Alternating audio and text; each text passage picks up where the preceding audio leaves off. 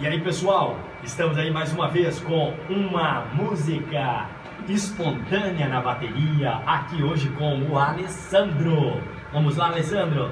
Vamos lá. Um, dois, três, já!